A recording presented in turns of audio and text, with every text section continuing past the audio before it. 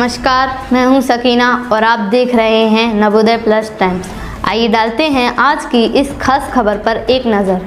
जनपद ललितपुर के प्राथमिक और मिडिल स्कूलों की अगर बात करें तो यहाँ स्टाफ के अभाव में बच्चों की पढ़ाई बाधित हो रही है। शासन द्वारा सरकारी स्कूलों में शिक्षक स्टाफ की उचित व्यवस्था न होने से सरकारी स्कूलों में पढ़ाई की स्थिति खस्ता बनी हुई है। हम यहाँ बात कर रहे हैं सरकारी इंग्लिश मीडियम पूर्व माध्यमिक प्राथमिक विद्यालयों की। जनपद में मात्र दो ही पूर्व माध्यमिक प्राथमिक विद्यालय इंग्लिश मीडियम के हैं। यहाँ दोनों ही स्कूल ब्लॉक जखौरा में स्थित हैं।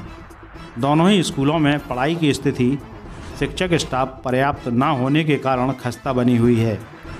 पटोरा कला के पूर्व माध्यमिक विद्यालय में कक्षा छः सात और आठ की क्लासेस इंग्लिश मीडियम में संचालित की जा रही हैं। इन तीनों ही कक्षाओं में छात्र छात्राओं की संख्या 108 है। इस स्कूल में टोटल स्टाफ के नाम पर मात्र तीन शिक्षक ही तैनात हैं, जिनमें से दो शिक्षक पिछले कई दिनों से सीएल पर हैं। शिक्षकों को सीएल पर रहते हुए एक माह बीत चुका है। तीनों कक्षाओं में मौजूद 108 छात्र छात्राओं की ज़िम्मेदारी इस समय इंग्लिश अध्यापक राजीव शर्मा पर है। राजीव शर्मा ही नियमित रूप से स्कूल आकर दोनों कक्षाओं के बच्चों को इंग्लिश पढ़ा रहे हैं। यह विचार करने वाली बात है कि अगर छात्रों को वाकई में इंग्लिश में महारत हासिल कराना है तो क्या शिक्षकों की गैर मौजूदगी में बच्चों का भविष्य बनेगा या फिर बिगड़ेगा? इस समस्या पर ज़िले के शिक्षा विभाग को विचार करना चाहिए, ताकि नौनिहालों का भविष्य उज्जवल बनाया जा सके। नवोदय प्लस टाइम्स के लिए ललितपुर से नासिर मीडिया की रिपोर्ट। की बात करें तो क्या स्टूडेंट की संख्या है? हम इस स्टूडेंटों को जो पढ़ा रहे हैं कि ये इंग्लिश मीडियम का ज़िले में अच्छा स्कूल है और सभी बच्चों को इंग्लिश में ही अपने नागरिक शास्त्र सिविक्स या हिस्ट्री, साइंस जोग्राफी सभी इंग्लिश में ही लिखनी है।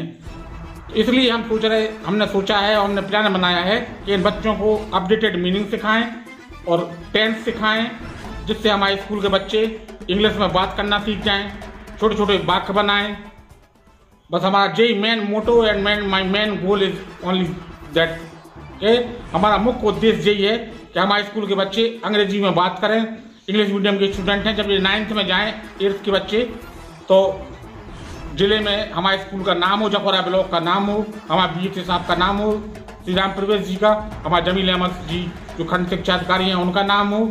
हमारी जय डिज़ायर है, जय इच्छा है। उसी कर्तव्य का हम पालन करते जा रहे हैं। अगर स्टूडेंटों की बात करें तो आपकी क्लास में कितने स्टूडेंट है कितनों का स्टाफ है? आपको किस चीज़ हमारे स्कूल में तीन लोगों का स्टाफ है। फ़र्स्ट नंबर पे है श्रीमती मधु तिवारी दूसरे नंबर पे है दीपिका जैन श्रीमती तीसरे नंबर पे हमें राजीव शर्मा। अब दोनों सीसीएल पे चली गई हैं तो हम ही को सभी बच्चों को पढ़ाना पड़ता है। अब अलग अलग क्लास में इसलिए नहीं बैठा सकते कि लड़के लड़ जाएँ। या कभी कोई छत पर चला जाए या कहीं कोई गिर पड़े कोई दरवाजे को, करे तो इसी क्लास में हम सभी बच्चों को बैठा लेते हैं और इंटरवल तक सभी बच्चों को पढ़ाते हैं। फिर इंटरवल की अब चाइल्ड ओरिएंटेड एजुकेशन है तो हम बच्चों के द्वारा बच्चों को जो कैरम अच्छा लगता है बच्चों को कबड्डी अच्छी लगती है तो बच्चे इंटरवल के बाद खेलते हैं। लड़कियाँ भी कैरम खेलती हैं।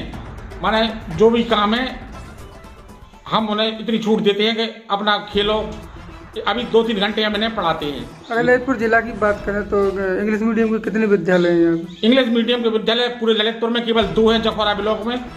एक है यूपीएस पटौरा कला इंग्लिश मीडियम और एक है यूपीएस कुआतला इंग्लिश मीडियम दोनों हैं? दोनों हैं। तो फिर आप कैसे इन्हें संभालते होंगे इतनी हमारे यहाँ कोई अनुदेशक नहीं है जबकि पटो कुआतला में तो स्टाफ बहुत ज़्यादा है। वहाँ तीन अनुदेशक हैं पाँच टीचर हैं और हम पे इतना दायित्व है कि हमें शिक्षक संकुल भी बना दिया है। हम के आर पी भी हैं तो हमें महेशपुरा ककरुआ और जे बैरबारा इन स्कूलों में भी जाना पड़ता है। तो हम अपने आप को बड़ा दिक्कत महसूस करते हैं आई फील मच डिफिकल्टी तो फिर कैसे मैनेजमेंट करते होगे आप? मैनेजमेंट यही करते हैं कि हम आजकल कहीं नहीं जा रहे हैं यहीं क्लास में बैठ जाते हैं। दो तीन घंटे इन्हीं बच्चों को पढ़ाते हैं। जय मैं हमसे जुड़े रहने के लिए हमारे चैनल को सब्सक्राइब कीजिए। ताज़ा खबर के नोटिफिकेशन के लिए बेल आइकन पर क्लिक कीजिए। धन्यवाद।